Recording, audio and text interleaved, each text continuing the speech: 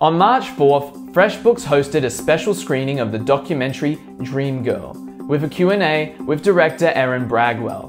With its official premiere taking place at the White House and being listed on Oprah's Soul 100, this internationally renowned documentary showcases stories of women entrepreneurs from all walks of life.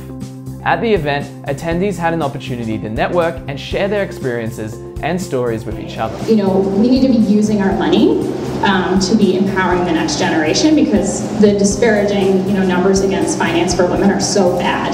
So I really wanted to plant that seed with people too, and just try to find um, women that I felt magnetized to in some way. In addition to the screening and Q&A, a panel was held, made up of top female entrepreneurs from Toronto, including Vicki Saunders, founder of SheEO, Francisca Sin, who is highly regarded for her business forward approach and skill as an intellectual property strategist, Melissa Nightingale, the head of creators at Wattpad and the co-editor of Copor, and Emily Rose Antflick, the founder of Shecosystem, a co-working and wellness space where women thrive. This event was all in preparation for their official International Women's Day celebrations, taking place in New York City, Boston, and Chicago.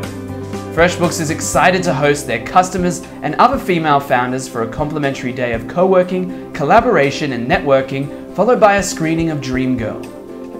The first thing, I mean, we're, we're talking about co-working spaces as being like really amazing and incredible resources.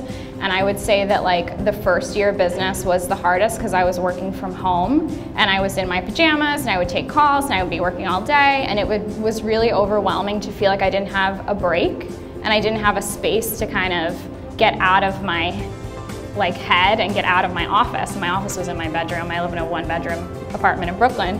Um, and even like the idea of going to a coffee shop, like I could or couldn't go and then I'd usually get too busy and not even go. So I think committing myself to a space and to a community where I literally had to get out of my house and force me to do it was totally game changing for me. I feel like re I really leveled up. I started dressing better. I started like taking care of myself.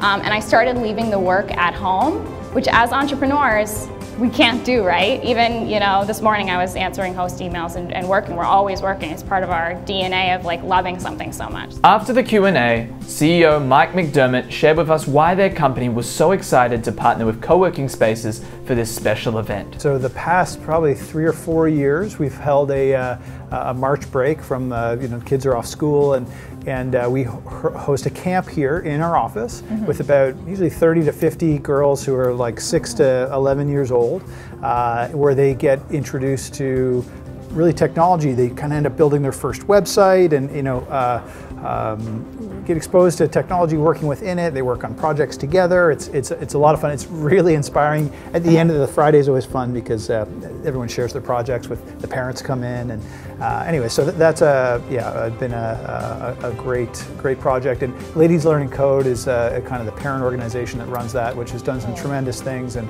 uh, we've helped support that with FreshBookers going out and teaching classes and, and mentoring in, in schools and, and things like that. And a bit of a personal question for you now. I, I read an interview with your mum, and she was one of the uh, early pioneers of mental health in children back in the 80s. Do you feel sure. like being around such a ambitious woman from such an early age would have had an influence in, in all the support you're doing now for women in the, the tech community and startup community? I, I mean, it, uh, I guess I like to think so. Uh, I think a big part of it is, um, so th there's me, but I think FreshBookers as a whole, they're the ones who find more of these opportunities and, and bring them forward and, and, and want to see them come to life. So mm-hmm. I think it's it's uh, it's it's not just me. Maybe in some pixie dust, uh, my uh, mom has uh, instilled within me. I have an influence, but I think it's a whole team thing, and I, am really proud of that part of FreshBookers.